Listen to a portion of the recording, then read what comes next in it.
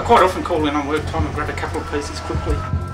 The bosses used to be turning up with parts of trains in the back of the ute now. It's just an everyday occurrence.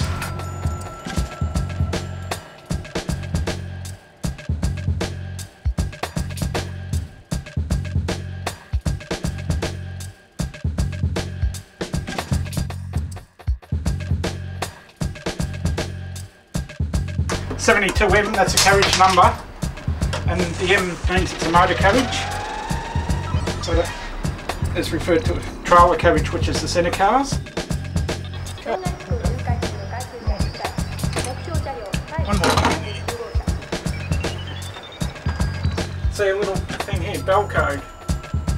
That was for the operation of the train, communication between the guard and the driver. that's, that's a bell I used to operate. So that's something not a lot of people think of getting, but it's something different. Make a good doorbell. Always carry the camera with me. Never know when you're going to see something to photograph. a lot of people in the railway industry consider making graffiti decals as promoting graffiti. I suppose in a way it does, yes, in a way it's part of modern day modelling.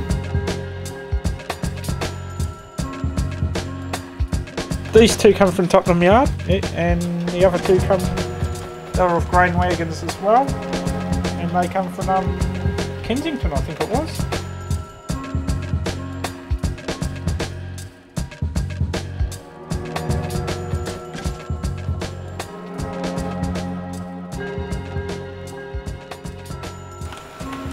Yeah, it just started out. I wanted a couple of things, and none of the other manufacturers wanted to make it, so I said, no, I'll look into it myself.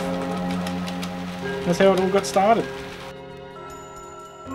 Yeah, you see it on modern day trains, and it's part of doing it. So I was walking through Tottenham Yard and spotted a couple on the wagon that I have there. I thought that looks nice. I'm going to do it.